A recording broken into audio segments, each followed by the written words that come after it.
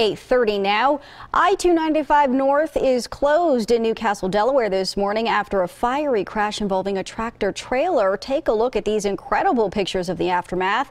This happened right around 240 this morning. The truck driver was headed north on I-95 when he then hit a barrier between the I-95 and I-295 split. The driver was taken to the hospital. No word on his condition this morning.